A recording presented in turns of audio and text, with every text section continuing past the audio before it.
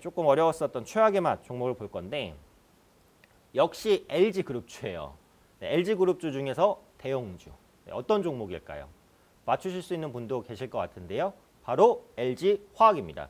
어, 이번 주는 2차 전지 배터리 업체에 굉장히 어려웠었던 그런 한 주였다라는 생각이 듭니다.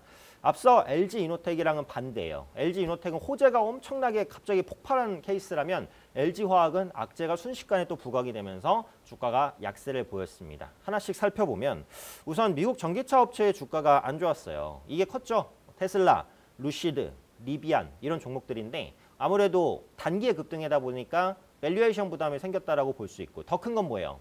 일론 머스크가 세금 내야 된다고 테슬라 그, 주, 그 종목 예, 주식을 많이 팔았죠. 네, 그러다 보니까 투자 심리가 이제 많이 악화가 됐는데 이번 주에는 일단 이 부분이 해소가 됐다라고 볼 수 있어요. 왜냐하면 어, 일론 머스크도 뭐라 그랬어요. 아이고 테슬라 주식 이제 팔 만큼 팔았다.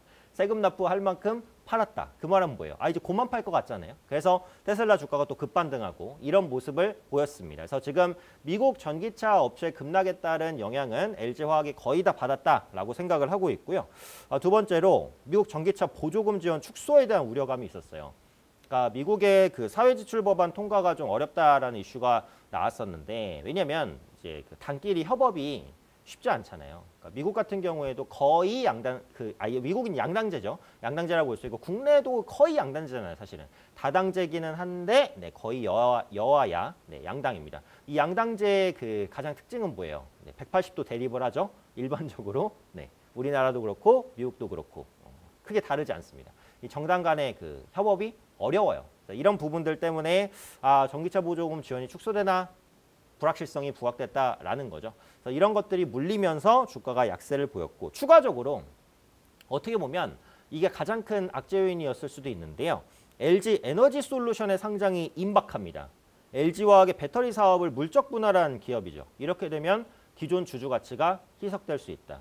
포스코도 이제 물적 분할을 결정하면서 기존 주주 가치가 희석될 수 있다. 이런 리스크도 있죠. 사실은 주주 보호 관점에서 이런 물적 분할은 어느 정도 이제 법으로 뭐 제재를 하던가 아니면 주주를 보호할 수 있는 뭔가의 방안을 마련해야 된다라는 생각은 저도 가지고 있어요. 근데 어쨌든 어, 아직까지의 법에서는 물적 분할 자체가 뭐 위법은 아니기 때문에 기업이 추진한다고 하면 소액주주가 그것을 막기는 어렵습니다. 그래서 LG 에너지 솔루션이 어쨌든 상장하게 되면 LG 화학의 그 배터리 사업 부분에 어, 기대감이 많이 좀그 무너진다. LG 에너지 솔루션 쪽으로 간다. 이렇게 보셔야겠죠. 그래서 이런 것들이 겹치면서 주가가 많이 부진했습니다.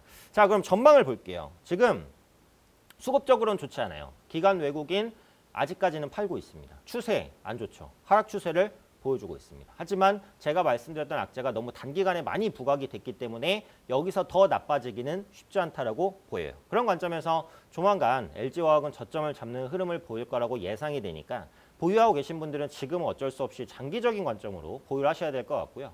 추가 매수를 하려고 하시면 조금 기다리시는 게 낫지 않을까 싶어요. 차라리 여기서 주가가 한 템포 더 빠지던가 아니면 확연하게 반등을 시도할 때 어떤 의미 있는 위치에서 추가 매수를 하는 게 좋지 지금처럼 하락 추세를 보이고 있을 때 저점이라고 예측해서 추가 매수를 하는 건 네, 좋지 않습니다. 그래서 지금 보유하고 계신 분들은 어쩔 수 없이 이제 중장기로 가져가자 이렇게 생각을 하시는 게 맞을 것 같기는 한데요. 추가 매수를 하시려고 한다면 좀 더 의미 있는 흐름들 네, 여기서 오히려 주가가 더 떨어져서 value 매력이 확 생기거나 아니면 주가가 반등하면서 추세 전환을 시도하거나 이런 흐름들이 나올 때 추가 매수를 하셔도 늦지 않다. 다음 주는 관망 한번 해보고 다다음 주에 흐름을 보고 수급을 보고 추매 시기를 결정해보자. 네, 이렇게 말씀드리도록 하겠습니다. 그래서 오늘은 다 LG그룹주로 봤네요. 네, 최고의 맛은 LG 이노텍, 최악의 맛은 LG 화학으로 어, 선정을 했으니까요. 네, 두 종목에 대한 전망과 전략 참고해 보시면 좋을 것 같습니다.